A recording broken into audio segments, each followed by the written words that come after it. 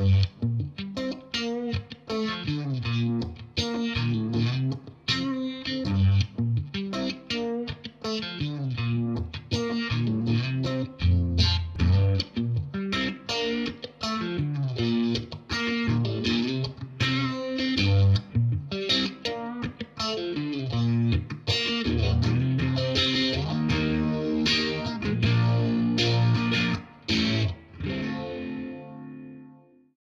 G'day, Jason the Middle Aged Gear Junkie here.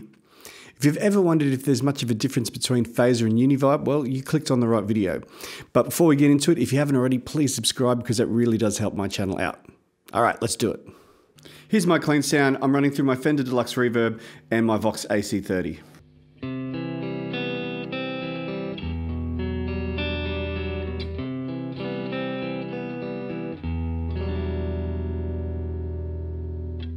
So it's very clean. There's a little bit of reverb from both amplifiers, but no breakup.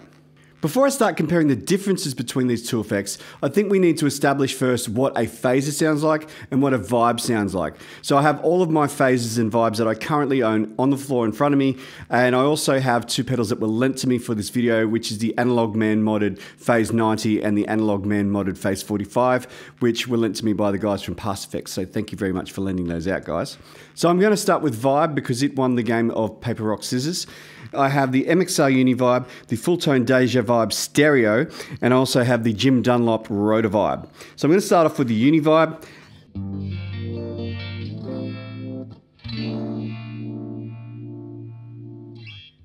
you hear that lovely sort of uh, watery, throbbing sort of sound that you get, which is really typical of a vibe.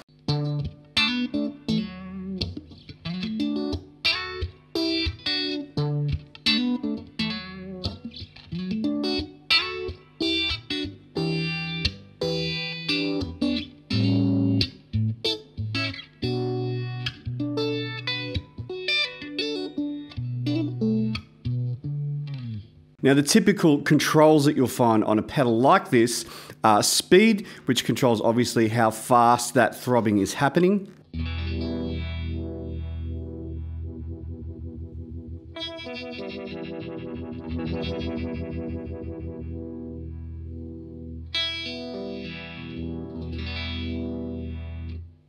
We have depth, which is how much of the vibe is being mixed with your dry signal.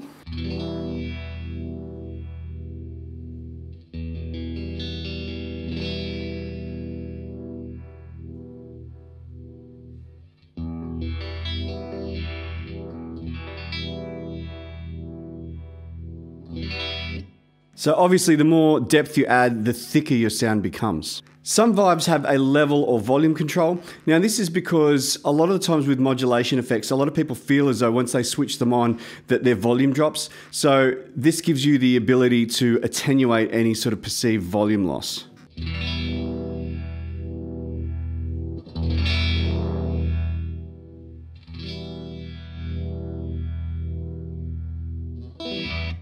So most vibes, including the original Univibe, have a switch on it saying chorus slash vibrato. Now, to understand what this does, you have to understand partially how the effect works. So when your guitar goes into the effect, it splits your signal in two. One of those signals is modulated and the other one stays dry or clean. When those two signals are mixed together at the end, that's when we get the Univibe sound. By hitting this switch, what's going to happen is it's going to kill the dry signal and I'll only be left with the vibrato signal.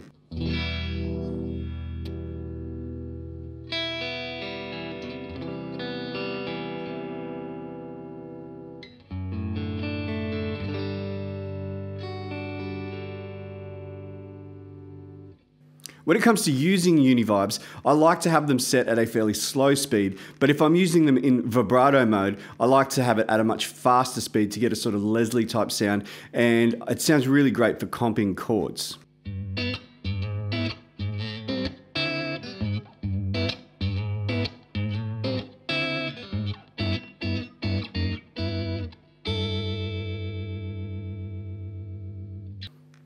Here's the Deja vibe.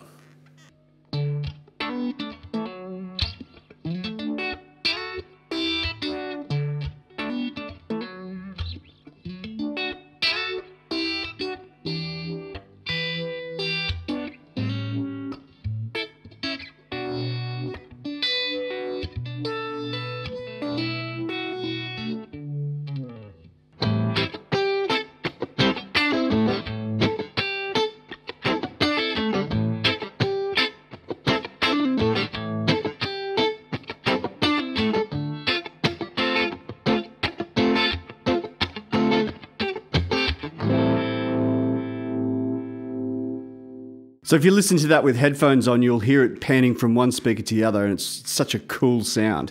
Now, you might have noticed that the Deja Vibe doesn't seem to have as much sort of boomy bottom end, and that's because it has a switch on there that says vintage or modern, and I've got it in the modern setting. If I was to switch it down to vintage, it would sound more like the MXR version.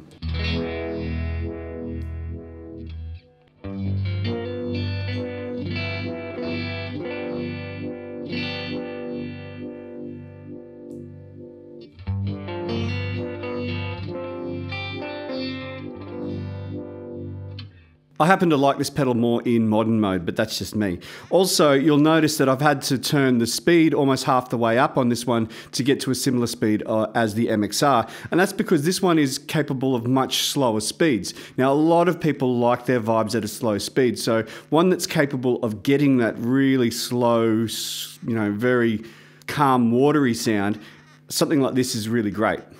Now also the, the speed knob is down here in the corner so that I can adjust it with my foot.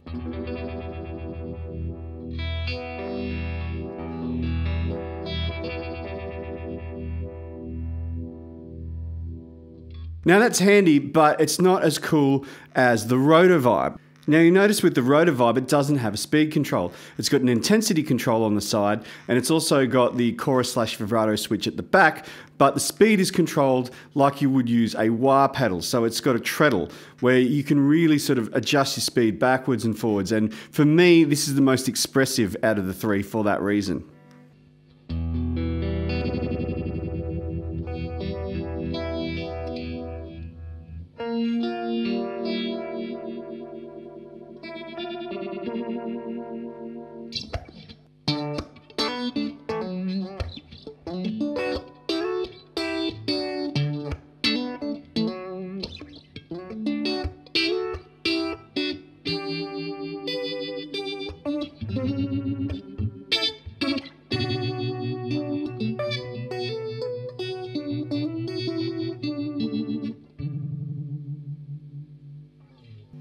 Popular way to use Vibe is to pair it with a fuzz. Now, uh, a lot of people like to use a fuzz face like I'm about to do. Uh, if you do, put the fuzz face in front of the Vibe because fuzz faces do not play well uh, with other pedals being in front of them, even the silicon ones. So um, I've got mine in front and this is what it sounds like.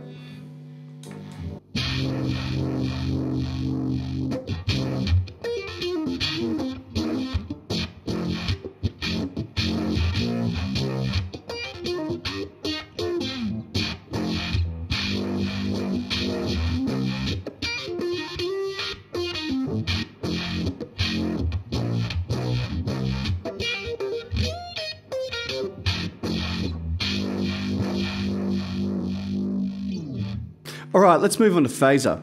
So on the floor in front of me, I have three different types of phaser. These all uh, originally came out in the 70s. There is an MXR Phase 90 script. Uh, this is a reissue. I have an original 70s uh, Boss PH1 silver screw. Uh, and then I have the Past Effects uh, Fox Foot Phaser Deluxe. Now this is based on a 70s phaser called the Fox Foot Phaser, which is no longer made. So this is a, a modern reproduction of that pedal. So let's start off with the Phase 90.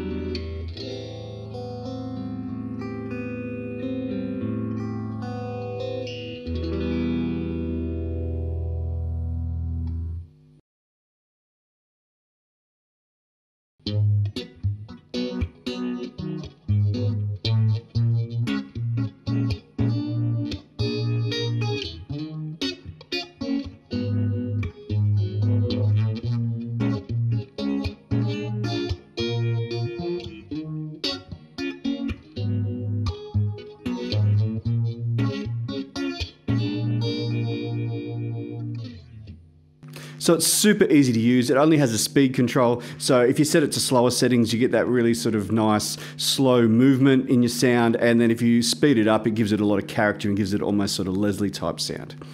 Uh, but let's see what other phasers sound like. So let's check out the Boss PH1.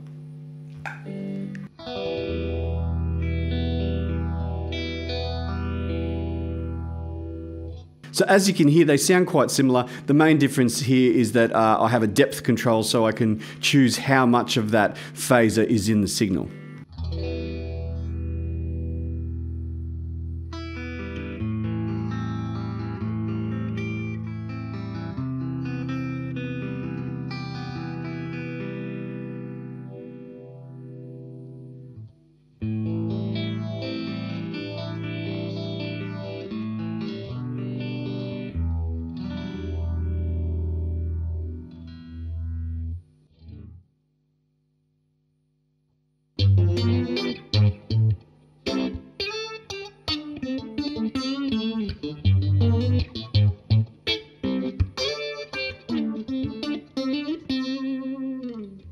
Again, it kind of gets those Leslie type sounds. I'm going to slow it down.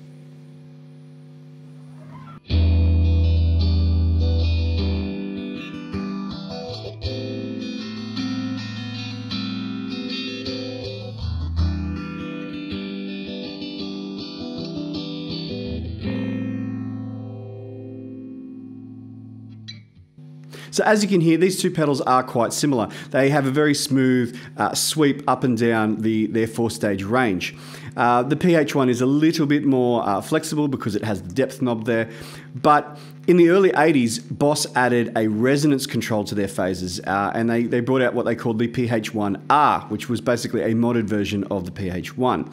And I used to own one of these, but I don't have it anymore. But I do have a PH2, which came out a few years later, and this also has the resonance control. And the resonance control basically adds, feeds back part of the signal into itself, and it creates a much more interesting and distinctive phaser sound.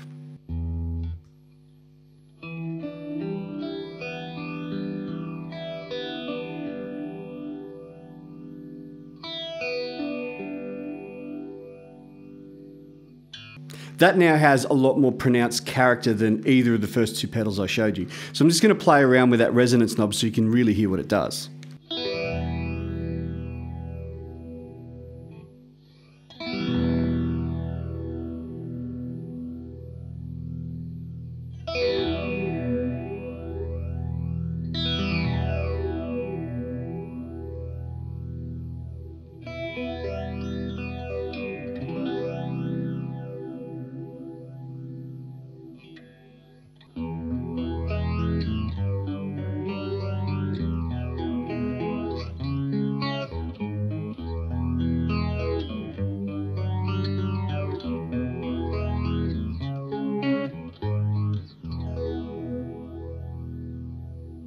You often hear the word stages mentioned when people talk about phases.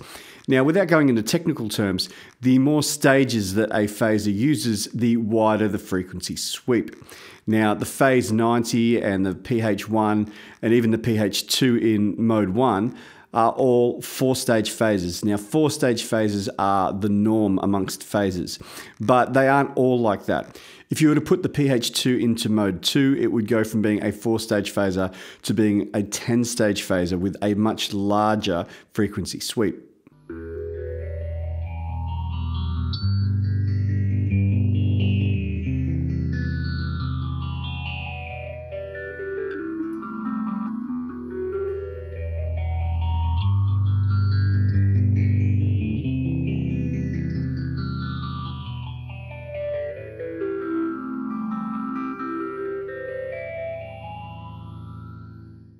Lastly, I have the PastFX Fox Foot Phaser Deluxe. Now, this is based on the Fox Foot Phaser, which came out in the 70s, which was used by Brian May. But this is a sort of modern take on that original circuit.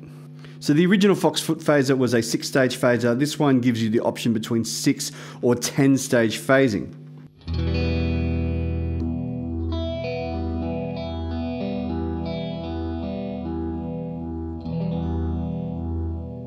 As you can hear with all knobs at noon, it's a bit more throaty than either the others that we've heard so far. That's on six stage phasing.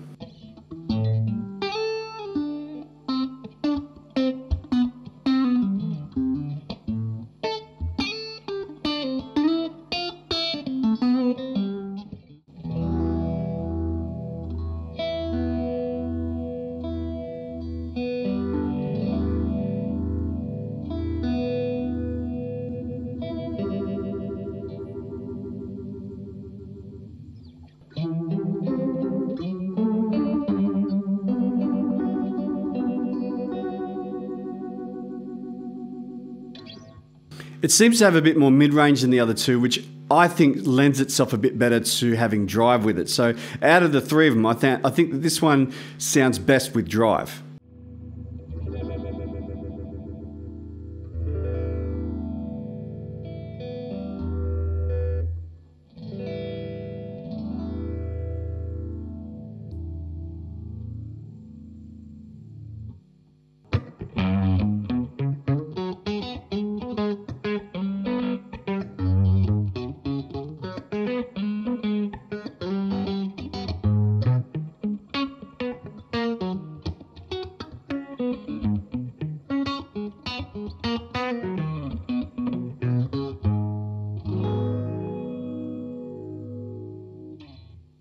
So even with those extra stages, you still get a very smooth sweep up and down. I'm a huge fan of using a phaser with a delay pedal, so I'm just going to put on a digital delay and use it with the PH2 here.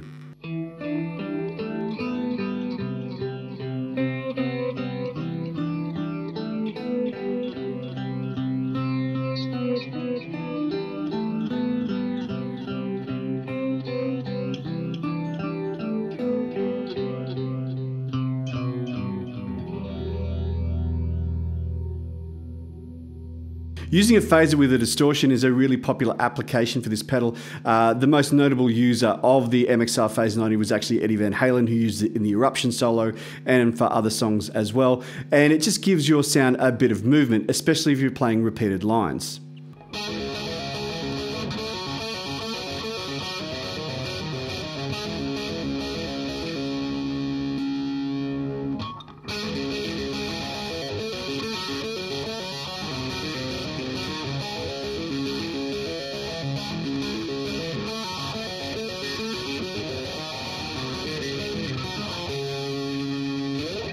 Now I'm going to compare the two effects. So I'm going to use one of each of these pedals. So I'm going to use the uh, MXR Phase 90 because let's face it, that's the one that everybody knows. And in keeping with the same brand, I'll use the MXR Univibe to represent vibe. Now I'm going to play the same piece of music using both effects. Both of them are going to be running in front of a drive pedal, uh, which will be the Marshall Blues Breaker.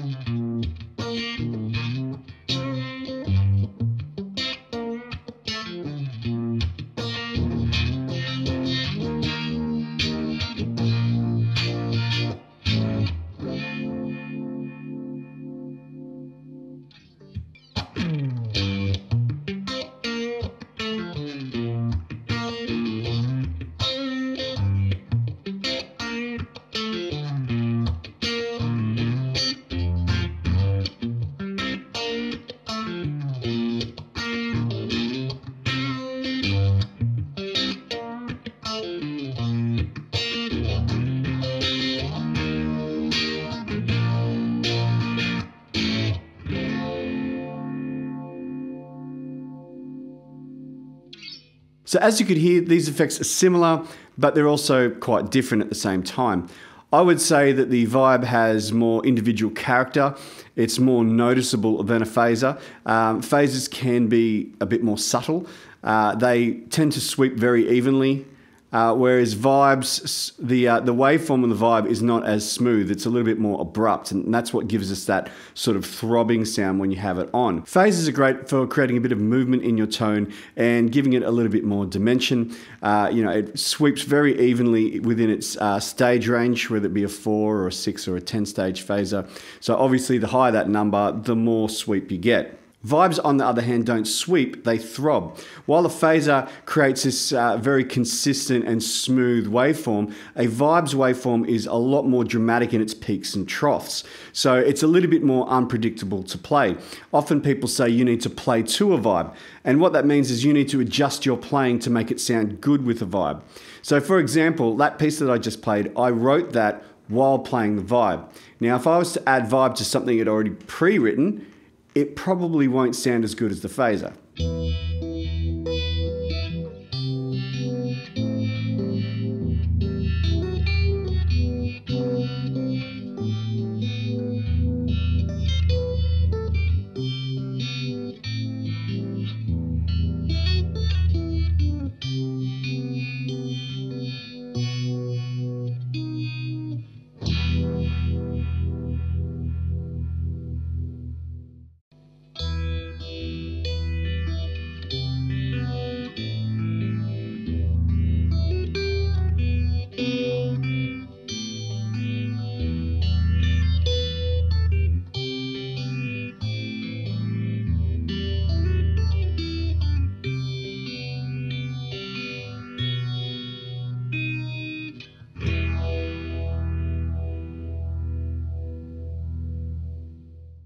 As I said at the start, I have a couple of pedals here that have been lent to me, which are the Analog Man modded Phase 90 and the Analog Man modded Phase 45.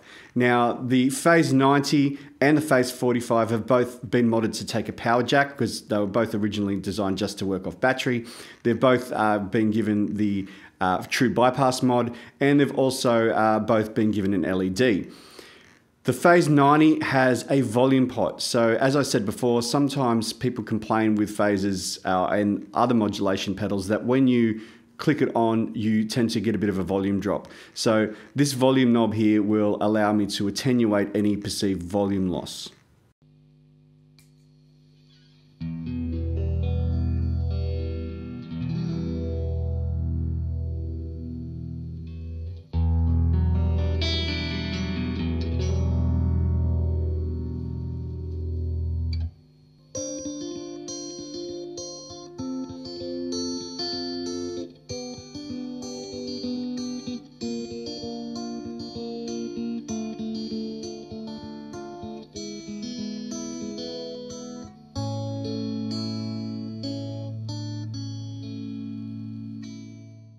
In standard mode, the phase 45 is a more subtle phaser than the phase 90 because it's only a two stage phaser, so it doesn't have a very large sweep. But there's a switch that's been put on there to put it into vibe mode. So this actually can go from being a phaser to being a two stage vibe, which is very interesting.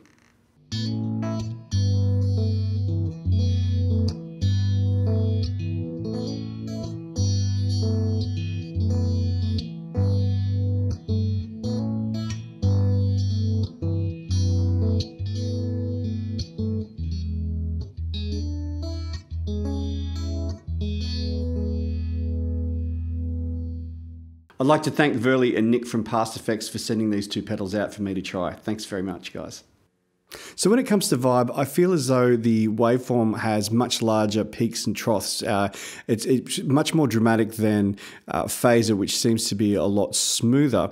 Uh, therefore, I, I, think that vibe really lends itself to expressive playing uh, because I feel as though it's probably a little bit more of an expressive effect. At slow speeds, it has that beautiful watery type sound, and you know most most well-known vibe players usually use vibe at a slow to medium speed. At faster speeds, I still think it's useful. Uh, however, I reckon it sounds best when using them with chords. The Deja Vibe and the Rotovibe were my favorites uh, for different reasons. So the Deja Vibe has stereo mode, and this effect in stereo is absolutely brilliant.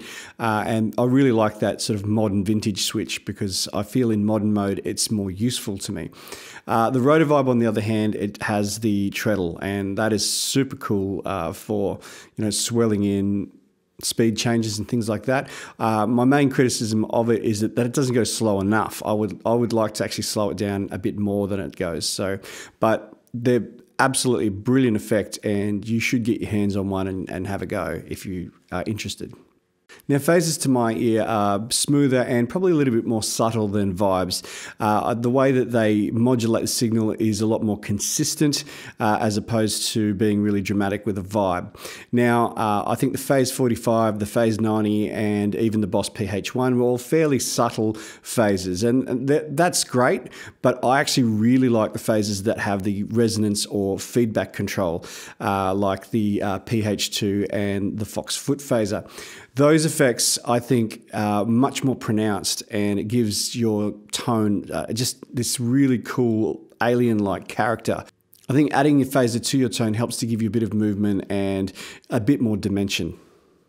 So if you enjoyed this video or you got something out of it, please give it a like. And if you haven't already, please subscribe. Remember, you can go to the Middle Age Gear Junkie store. There's two links down in the description below. Find the one that best suits you. And by buying a t-shirt or something like that, you can really help to support this channel. Uh, you can join the Middle Age Gear Junkie Facebook page and post pictures up of your gear, of your pedal boards, your setup. That'd be great to be able to uh, show that off to the rest of us. Other than that, my name is Jason. I hope you have a wonderful day. See you later.